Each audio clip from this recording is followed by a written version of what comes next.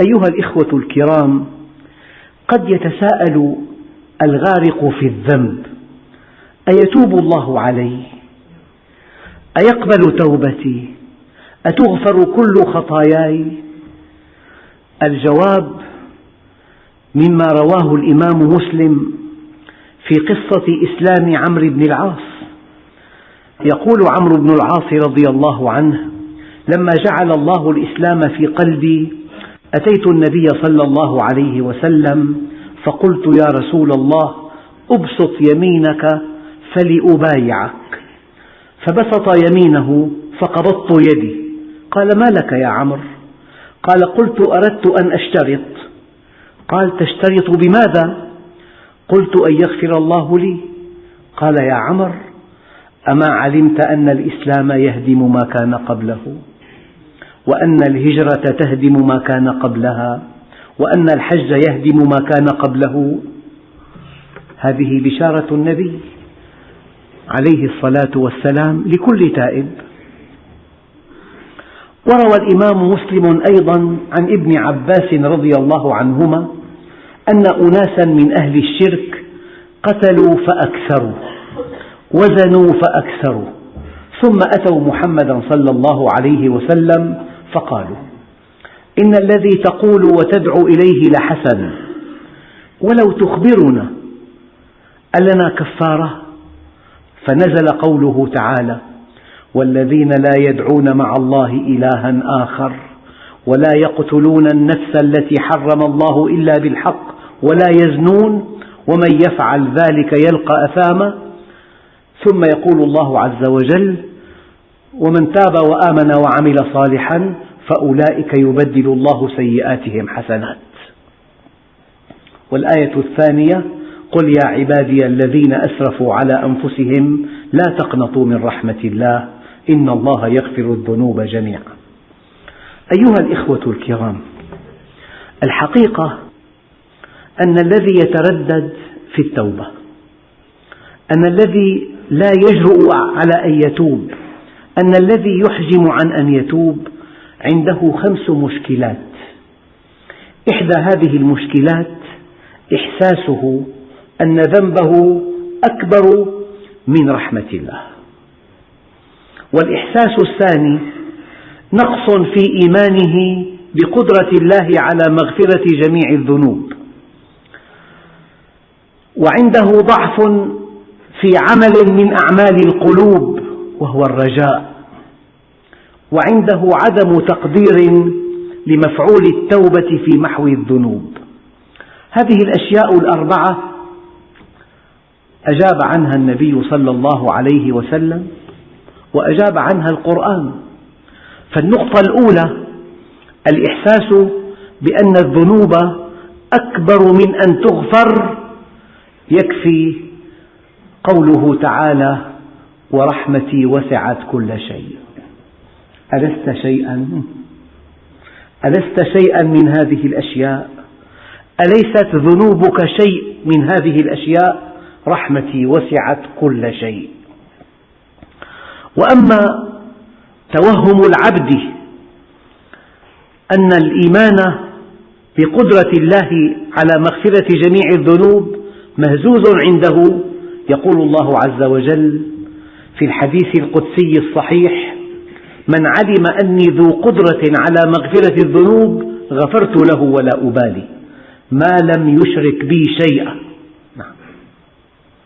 وأما النقطة الثالثة أي أن ضعف رجائه بالله هو الذي حجزه عن التوبة. يقول الله عز وجل في الحديث القدسي الصحيح يا ابن آدم إنك ما دعوتني ورجوتني. غفرت لك على ما كان منك ولا أبالي. يا ابن آدم لو بلغت ذنوبك عنان السماء ثم استغفرتني غفرت لك ولا أبالي. يا ابن آدم لو أنك أتيتني بقراب الأرض خطايا ثم لقيتني لا تشرك بي شيئا لأتيتك بقرابها مغفرة. رواه الترمذي. وأما شعور المذنب أن التوبة لا تلغي ذنوبه يقول عليه الصلاة والسلام فيما رواه ابن ماجه التائب من الذنب كمن لا ذنب له. أربع أحاديث. الأول آية قرآنية رحمتي وسعت كل شيء. الثاني من علم أني ذو قدرة على مغفرة الذنوب غفرت له ولا أبالي ما لم يشرك بي شيئا. والثالث يا ابن آدم إنك ما دعوتني ورجوتني غفرت لك على ما كان منك ولا أبالي. ولو بلغت ذنوبك عنان السماء ثم جئتني تائبا غفرت لك ولا أبالي. وأما الرابع التائب من الذنب كمن لا ذنب له. أما الذي يقول ذنوبي لا تعد ولا تحصى بماذا نجيبه؟ عن أبي سعيد سعد بن مالك ابن سنان الخدري رضي الله عنه أن النبي صلى الله عليه وسلم قال: كان في من كان قبلكم رجل قتل تسعة وتسعين نفسا فسأل عن أعلم أهل الأرض فدل على راهب ولعله عابد. فأتاه فقال إنه قتل تسعة وتسعين نفسا فهل له من توبة؟ قال لا. فقتله فكمل به المئة. ثم سأل عن أعلم أهل الأرض فدل على رجل عالم فقال إنه قتل مئة نفس فهل له من توبة؟ فقال نعم. ومن يحول بينه وبين التوبة؟ لكن انطلق إلى أرض كذا وكذا فإن بها أناسا يعبدون الله تعالى فاعبد معهم. عالم أمره أن يدع بيئته التي يعصي الله فيها. البيئة أخطر شيء على المؤمن. إن عاش في بيئة أهل الشرك وفي بيئة أهل الكفر وفي بيئة العصاة وفي بيئة الفجار وفي بيئة المتفلتين وفي بيئة المستخفين سيسحبونه. لا تتولوا قوما غضب الله عليهم. ومن يتولهم منكم فإنه منهم. هذا العالم أمره أن يتحول عن الأرض التي عصى الله فيها إلى أرض يعبد الله فيها. وهذا مفهوم الهجرة في الإسلام. أن تتحول من بلد لا تستطيع أن تقيم شعائر الله فيها إلى بلد بإمكانك أن تقيم شعائر الله فيها. أيها الإخوة فاعبد معهم ولا ترجع إلى أرضك فإنها أرض سوء.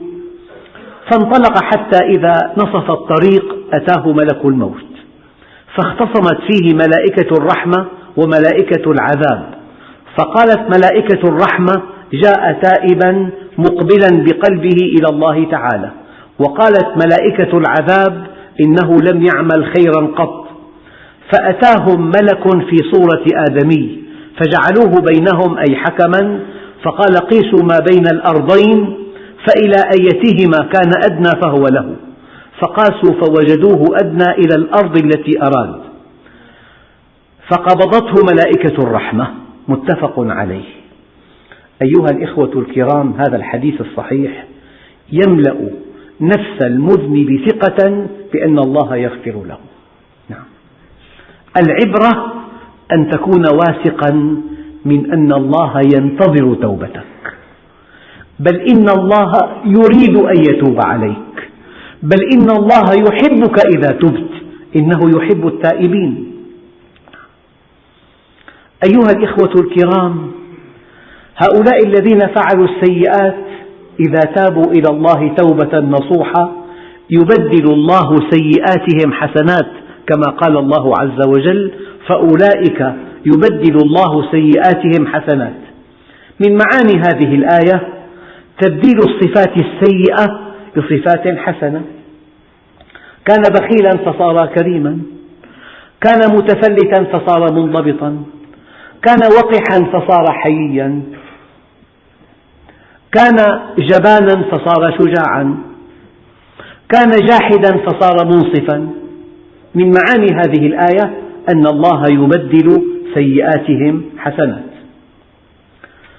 وقد ورد عن عبد الرحمن بن جبير عن أبي طويل أنه أتى النبي صلى الله عليه وسلم شيخ هرم قد سقط حاجباه عن عينيه وهو يدعم على عصا حتى قام بين يدي رسول الله صلى الله عليه وسلم.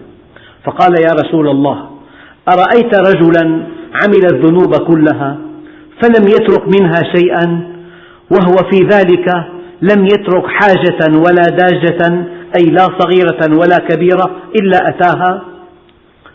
وأنه لو قسمت خطيئته بين أهل الأرض لأوبقتهم أي أهلكتهم فهل له من توبة؟ فقال عليه الصلاة والسلام فهل أسلمت؟ قال أما أنا فأشهد أن لا إله إلا الله وأنك رسول الله قال تفعل الخيرات وتترك السيئات فيجعلهن الله لك خيرات كلهن أيها الإخوة التوبة في حقيقتها. عمل بالقلب وعمل بالجوارح. فأما عمل القلب هو الندم والعزم على عدم العودة. وأما عمل الجوارح تكون بفعل الحسنات وترك السيئات. وهناك ما يسمى بصلاة التوبة. يقول عليه الصلاة والسلام فيما رواه أبو بكرة قال سمعت رسول الله صلى الله عليه وسلم يقول ما من رجل يذنب ذنبا ثم يقوم فيتطهر ثم يصلي ركعتين ثم يستغفر الله إلا غفر الله له. هذا في صحيح الترغيب والترهيب.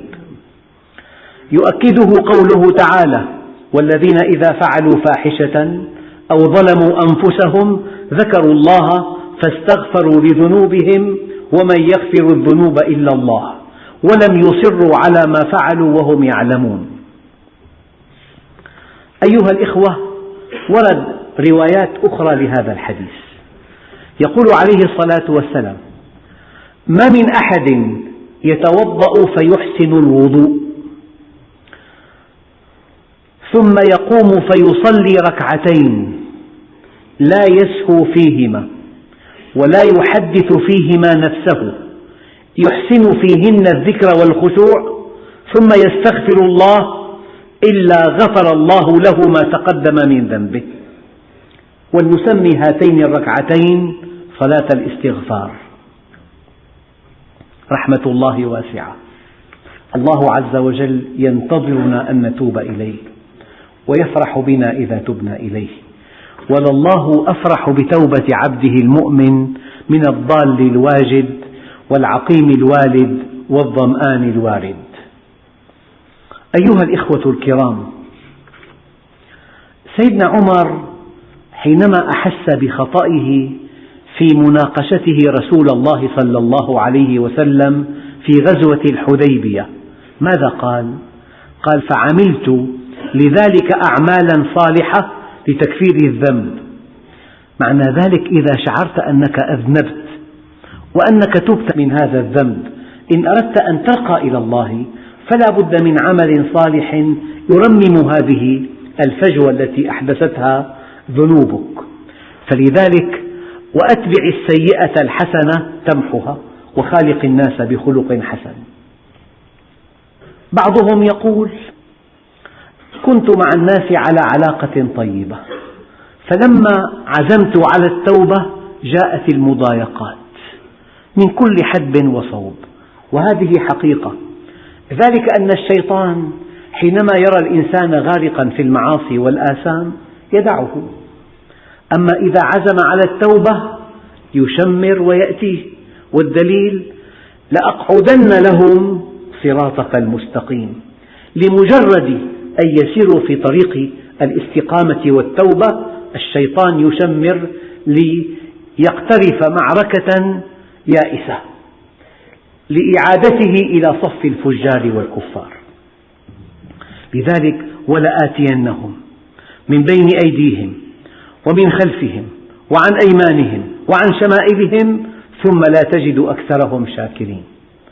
فالشيطان يقعد لهذا الإنسان طريق التوبة في أوله. يشككه بعقيدته. يسأله أسئلة إبليسية. يزين له ما قبل الإسلام. ولآتينهم من بين أيديهم. يزين له ما في العصر من حضارة ومن تقدم ومن ازدهار. ومن حرية ومن اختلاط وأن المرأة نصف المجتمع. يزين له. ومن خلفهم وقت عبادة الأوثان زمن الجاهلية. وعن أيمانهم يأتيه بالوسواس. لم تتقن شدات الفاتحة. إذا صلاتك غير مقبولة باطلة. لم تفعل كذا عملك غير مقبول.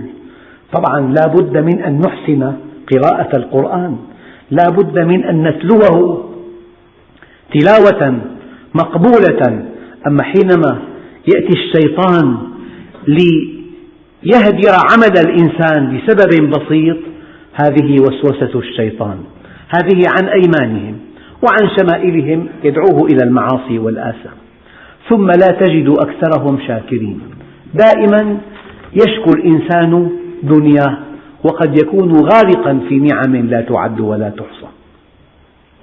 أيها الإخوة الكرام لذلك سورة الناس قل أعوذ برب الناس ملك الناس إله الناس من شر الوسواس الخناس الذي يوسوس في صدور الناس من الجنة والناس. وقد يكون الشيطان من البشر بل إن تقديم شياطين على شياطين الجن إشارة إلى أن شيطان الإنس أشد مكرا من شيطان الجن. شيطان الإنس يدعوك إلى معصية يدعوك إلى ألا تنفق أن تبخل يدعوك إلى أن تكره من أحلت لك ويزين من حرمت عليك. هذا من فعل الشيطان. فحينما تشعر أنك مدفوع إلى معصية هذا وسواس الشيطان. إلى أكل حقوق الآخرين هذا وسواس الشيطان. إلى الإيقاع بين مسلمين هذا من وساوس الشيطان. إلى أن تشتهي امرأة لا تحل لك هو من وسواس الشيطان. إلى أن تبخل وألا تنفق هو من وسواس الشيطان. ويثبت الله الذين آمنوا بالقول الثابت في الحياة الدنيا وفي الآخرة. القول الثابت هو القرآن. أيها الإخوة الكرام يقول الله عز وجل إن كيد الشيطان كان ضعيفا. وقال الشيطان لما قضي الأمر إن الله وعدكم وعد الحق ووعدتكم فأخلفتكم. الآن دققوا. وما كان لي عليكم من سلطان أبدا. إلا أن دعوتكم فاستجبتم لي. فلا تلوموني ولوموا أنفسكم. كنت أضرب على هذه الآية مثلا موضحا إنسان يرتدي أجمل الثياب فنزل في حفرة مياه سوداء مالحة أسيقة وذهب إلى مخفر الشرطة ليشتكي فسأله المحقق على من تشتكي؟ قال له على زيد قال له هو دفعك إلى هذه الحفرة؟ قال لا, لا والله لم يدفعني طيب أمسكك ووضعك فيها؟ قال له لا والله أشهر عليك سلاحا وأمرك أن تنزل فيها؟ قال لا والله. طيب لما تشتكي علي؟ قال هو قال لي انزل فنزلت وما كان لي عليكم من سلطان إلا أن دعوتكم فقط. فاستجبتم لي. فلا تلوموني ولوموا أنفسكم. ما أنا بمصرخكم وما أنتم بمصرخي. إني كفرت بما أشركتموني من قبل. إن عبادي ليس لك عليهم سلطان. الشيطان لا يوسوس إلا من يصغي له. لا يوسوس إلا من كان ضعيفا. إنما استزلهم الشيطان ببعض ما كسبوا. نعم. إن سلخ من آياتنا عندئذ تبعه الشيطان. أيها الإخوة الكرام الشيطان كالبعوض لا يأتي إلا على الأماكن القذرة. أما الأماكن النظيفة والأشخاص النظيفون ليس للشيطان إليهم من سبيل. أيها الإخوة الكرام مهما فعل أهل الكفر والشرك والضلال لحمل إنسان على أن يعود إلى ما كان عليه إذا استعاذ بالله واستعان بالله ليس لهم عليه من سبيل. قال تعالى ولا تخزني يوم يبعثون يوم لا ينفع مال ولا بنون إلا من أتى الله بقلب سليم. شيء دقيق جدا هو أنه من أكبر الكبائر الإشراك بالله والأمن من مكر الله والقنوط من رحمة الله واليأس من روح الله من أكبر الكبائر. المذنب مهما يكن ذنبه كبيرا ومهما تكن ذنوبه كثيرة ينبغي أن يكون واثقا من مغفرة الله له إذا تاب. ينبغي أن يكون واثقا من رحمة الله به. ينبغي أن يرجو رحمة الله ويخشى عذابه. أما اليأس من رحمة الله القنوط من رحمة الله من أكبر الكبائر. أيها الإخوة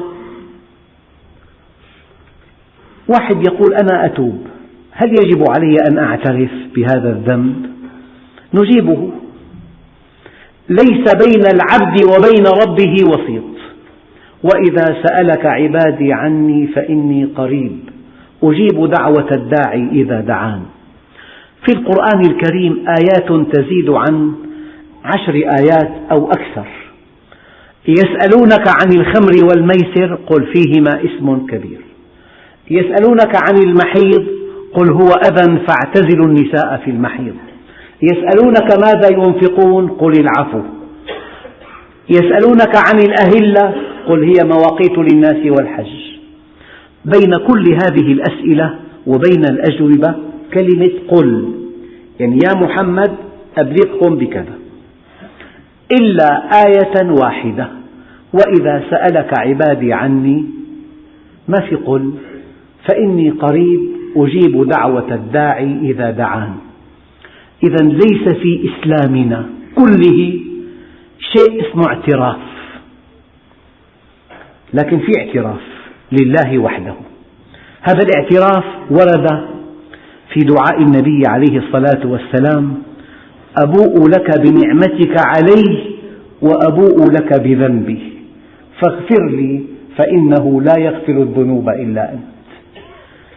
ابقى عزيز الجانب ابقى موفور الكرامة. ستر الله عليك استر نفسك. لكن في السجود في قيام الليل اعترف لله. أبوء لك بنعمتك علي وأبوء بذنبي فاغفر لي فإنه لا يغفر الذنوب إلا أنت. أنا والله أتألم أشد الألم.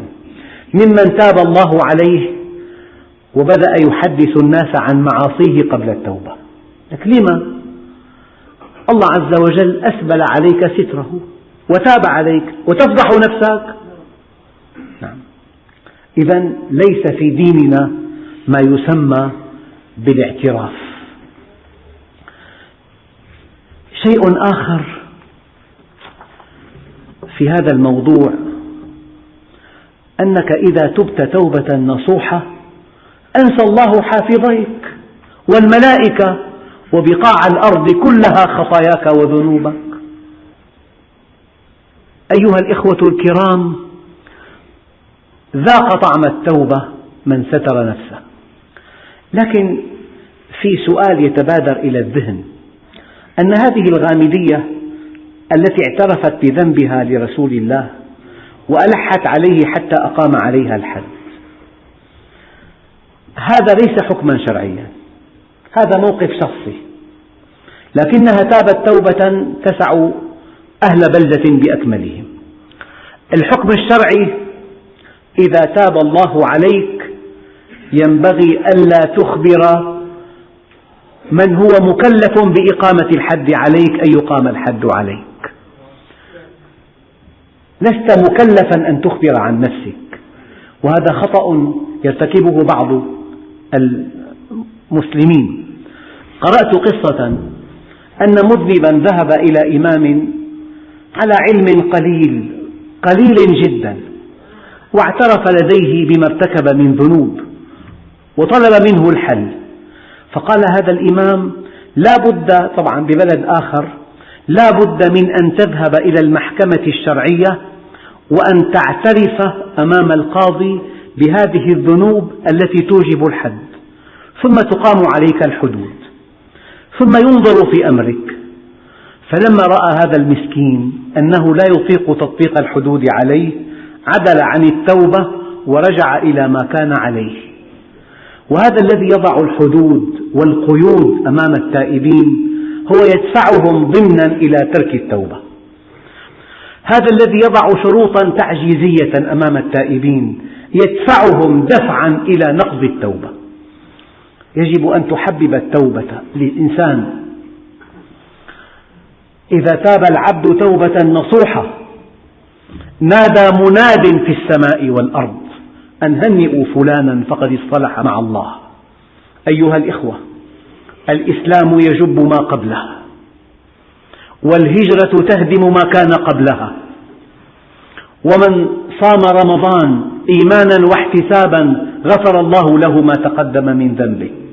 ومن قام رمضان إيمانا واحتسابا غفر الله له ما تقدم من ذنبه. ومن حج فلم يفسق ولم يرفث رجع من ذنوبه كيوم ولدته أمه. الحج فرصة. وصيام رمضان فرصة وقيام رمضان فرصة والتوبة فرصة والهجرة فرصة. كلها فرص تعود من ذنوبك كيوم ولدتك أمك. فهؤلاء الذين يضعون شروطا تعجيزية أمام التائبين هم لا يعرفون الله عز وجل. الله عز وجل يريد يريد أن يتوب عليكم. ينتظركم. هذه إرادتي في المعرضين فكيف في المقبلين؟ ينتظر من هذا المذنب أن يتوب. يشجعه على التوبة يزين له التوبة يملأ صدره انشراحا بالتوبة. أيها الإخوة حبب الناس إلى الله ولا تنفرهم من الدين. لا تكن منفرا كن داعيا إلى الله عز وجل. وبطولتك مع المذنبين. هؤلاء المؤمنين التائبين المقيمين لشرع الله عز وجل هؤلاء جميعا طرف واحد. أم عندها عدة أولاد. أحدهم شارد قلبها مع من؟ مع الشارد. هؤلاء الذين أطاعوها واستقاموا على أمر الله عز وجل مطمئنة لهم لكن قلبها يتألم لهذا الشارد فمن استطاع أن يرد هذا الشارد إليها يكون قد فعل معها عملا لا يقدر بثمن. فأحد الشيوخ توفاهم الله وأنا والله أجلهم وأحترمهم.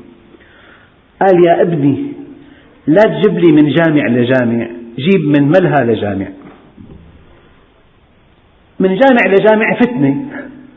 لكن من مكان المعصية والفجور إلى الجامع رحمة. فيا أيها الإخوة بطولتك مع الطرف الآخر كن منطقيا كن لطيفا. أره من الدين الشيء الذي يقبل عليه. عرفه برحمة الله. البطولة أن تأخذ بيده إلى الله لا أن تحكم عليه بالهلاك. أنت لست قاضيا ولكنك داع إلى الله عز وجل. أيها الإخوة يؤلمني أشد الألم. يقول لي أحدهم سألت إمام مسجد سألت مؤذن من قال لك إن الإمام والمؤذن؟ إذا كان ما طلب العلم وقد يكون إمام أعلم العلماء. أنا أقول إنسان ما طلب العلم لكنه يرتزق بهذه الوظيفة. يسأل إنسان من أجل تصليح آلة تبحث عن الوكالة. أريد خبير لماذا في أمر دينك تقبل أي فتوى؟ من أي إنسان له زي ديني وقد يكون جاهلا؟ من أجل أن تبيع البيت تسأل عشرات الأشخاص كم ثمن هذا البيت؟ كم ينبغي أن أبيعه؟ من أجل دينك يهون عليك دينك. تسأل أي إنسان تراه صدفة يعني له زي ديني تسأله ويجيبك وتأخذ بإجابته. أيها الإخوة الكرام ما كل من يعمل في الحقل الديني يصلح أن يفتي وما كل واعظ يصلح أن يفتي ولا كل من يعمل في الشعائر الدينية يصلح أن يفتي وما كل أديب أو قصاص يصلح أن يفتي وما كل من يحمل شهادة عليا يصلح أن يفتي. إن هذا العلم دين. فانظروا عمن تأخذون دينكم. غضب النبي غضبا لا حدود له حينما أفتى واحد من أصحابه لصحابي آخر أصابته جنابة في يوم بارد وفي سفر. فأفتى له أن يغتسل فاغتسل فمات. فقال عليه الصلاة والسلام قتلوه. قتلهم الله. فاسأل به خبيرا. اسألوا أهل الذكر إن كنتم لا تعلمون. كم من إنسان ييئسك من التوبة؟ كم من إنسان أراد التوبة ثم عدل عنها؟ لهذه الشروط التعجيزية التي يضعها من هم بعيدون عن حقيقة الشريعة.